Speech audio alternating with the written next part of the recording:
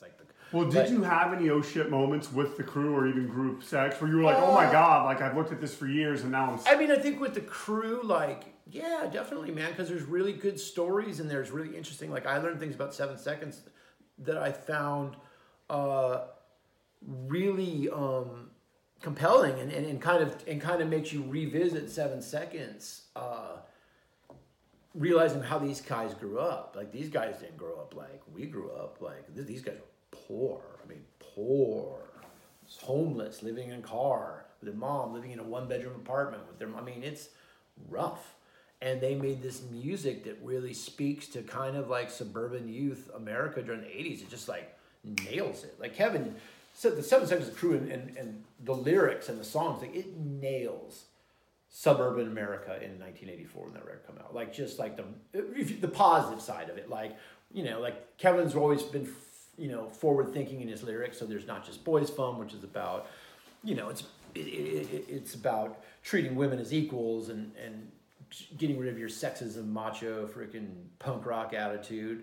It's written in 1983. Right. No one's writing a song like that. Colorblind, which is an anti-racism song, that's on the crew.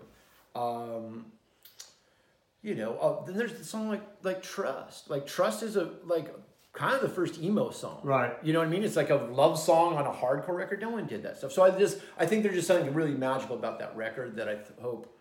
I think people would stoke if you know the crew, and you get this deluxe, you, you've spent your money wisely. Because that's another thing too is like we're pricing records that if another record company did the crew the way we're doing, it, it'd be forty bucks, forty five bucks to buy that because the gatefold with the booklet like that's bound inside, like we're selling it for thirty.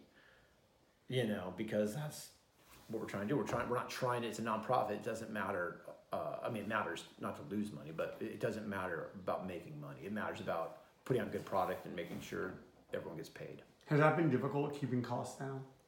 Uh, yeah, I mean, we're I'm learning. So yeah, I mean that's why Equal Vision's been our partner in to start this because we just didn't have that experience. They have all those contacts, uh, and obviously Steve Reddy, the owner of Equal Vision's a lifelong friend of both Matt's and I. So they they're the perfect partner to help.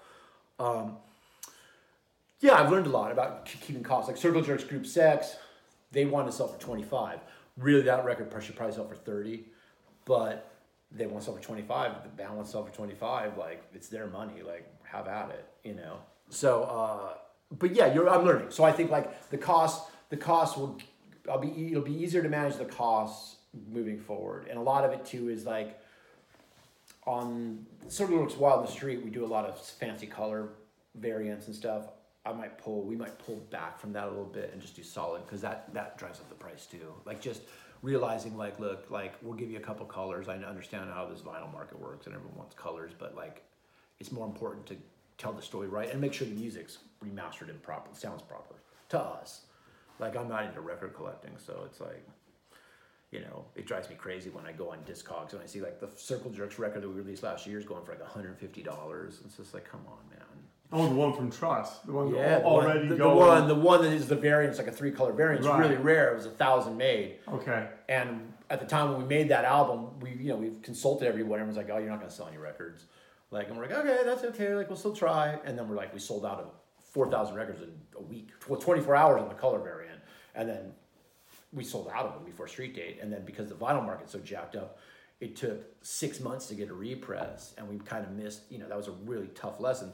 Thank God, Circle Jerks and Keith Morris are so fucking cool that they're partners with us and they understand that it's not you know what we're trying to do it's out of our hands like you know but lesson learned never I'll never you know the next Circle Jerks record which is Wild the Streets that pressing is fifteen thousand because it's like we're not going to have that problem again when we're out of records. Like you know that's another nice thing about doing it the way we're doing it with having Matt as a partner is we can take a chance financially a little bit and and kind of have some records that normally a record label needs to get rid of that you can't hold on to records in your warehouse for longer than probably six months or else you're losing money. So but with us it's like we, we can kind of afford to do that. So we're kind of looking at now like okay let's just make sure the records are we maybe overproduce a little bit and we sit on records longer. So we're not scrambling trying to you know repressing. That's the thing that's frustrating. So it's like six months to get a repress you know, I, I before the second press of Circle Jerks, while the Circle Jerks group sex hit, I'd already put in a third pressing order.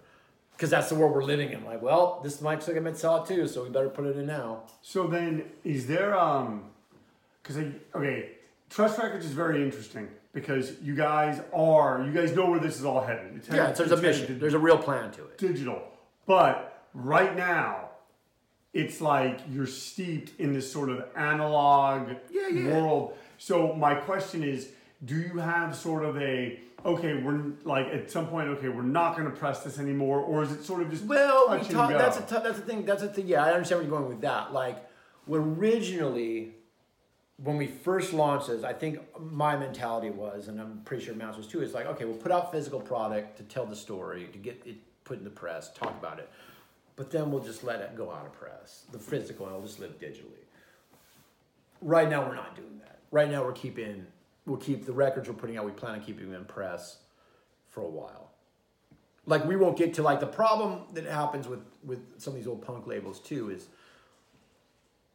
the quality starts because it becomes like you know like you, you look at some of these records uh i don't want to name lab- labels or bands but i've check out i'm gonna say the competition but check out some of those our peers from the 80s who are still in business releasing records a lot of those records are thin and there's no lyric sheet and they're not like i mean when we got into hardcore and punk rock there's a whole package like the lyric sheet's are important Yeah. right Thank you list, all like of it. all of it. That's Yeah. a part of the package. So when I know cost wise, you know, you're talking like a buck fifty to cut out the lyric sheet. Maybe you know, like I understand that because, but I look at it as like we're gonna put these records in press. They're gonna be pressed. They're gonna be pressed the way they are. Like we're not going to do, you know.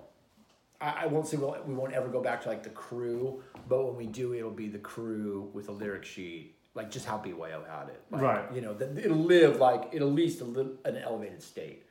Um, but we'll see, man. Like you know, uh, that's a problem. It'd be, it's a nice problem to have if it comes. I just right now, like yeah, it's a, it's crazy, volatile. The vinyl market's is insane.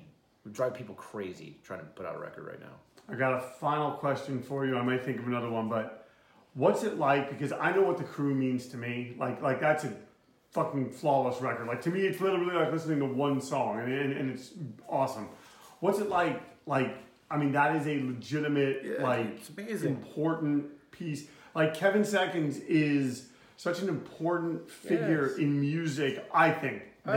I, we all agree. It's an Yeah. I- American icon. Yep. Like um, one of the great American musicians. Like I think up there with HR, with Oh, Ian, with yeah, all. of them. all of them. But even those guys are on par with, I don't know, Axl Rose and Slash. Oh, yeah, whoever, oh, yeah. Oh, dude, you yeah, want, I- I Red Hot mean. Chili Peppers, whoever you want to put into music. Like I put Ian and Jello and Kevin. Those guys. They're they're important people. They're like, important, American music icons. Yep. Yeah, I mean it's it's really exciting because it's like I said earlier, like you're seeing like a you know part of when me and when Matt and I sat down and talked about this, it, and Matt had said to me, which is the same thing, is like, look, like when we were kids, this kind of music rescued us, saved our lives. It, it got both Matt and I into a music business because like I fell in love with music because of hardcore and punk rock and went through, you know, I mean, whatever my journey has been, it's been a little weird, but like it's been in music the whole time. I've been in bands, I've been in merch, I've worked at record labels, I managed bands, like put on shows. All of it is because Kevin Seconds Yep. Wrote a record called The Crew that I loved and Walk Together, Rock Together and was one of my favorite bands. And same with Shawn Stern and Youth Brigade or Pat Dubar and Uniform Choice or freaking Walter and Civ and Gorilla Biscuits. Like these guys inspired me. And, and, and so as you kind of go through this music business, the idea is you're, we're going to give back. Like these guys got us onto the track. We've done okay for ourselves. Now let's. I want to spend the rest of my working life giving back to these guys. So it's yeah, it's thrilling. It's exciting. You're talking. You're collaborating with Kevin Seconds, and you're getting, you know, you're getting. We were friends, but we're not. You know, we're not as close as we were now. Like now, we we talk on a weekly basis. We're planning. You know, things. I can hear the excitement in his voice. I think it's you know when Matt Pinfield sits down with him and has this really great conversation about the crew and writing it, and you see Kevin like being asked by a legit music journalist the same questions he would ask, say like Madonna, right? Like it's that's how it should be, Yeah. and that's like the point. Yeah, but yes, I mean we all love Seven Seconds. Like it, it- like it'll be hard to top it for me as far as excitement. But I will say I am looking really, I'm really looking forward to Walk Together, Rock Together that comes out next year. I'm really looking forward to Youth Brigade because I do love that record, and I think Mark and Shawn Stern are like, especially in Southern California, are right up there with Goldenvoice or whoever you want to put to putting music on the map in Southern California, hardcore music or punk rock. Um, but it's also been great, like, you know, I was never the biggest Circle Jerks fan, admittedly, but I have so much respect for Keith Morris. Oh yeah.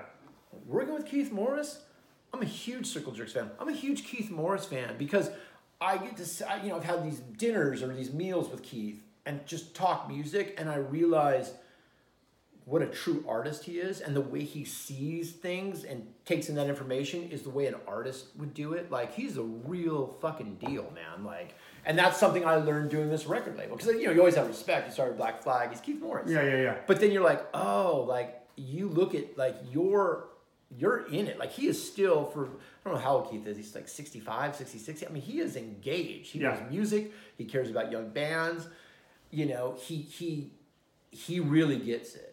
And that's exciting too. And so that's what's fun about this because at the end of the day like all these bands are important in their own way no matter who we're putting out right?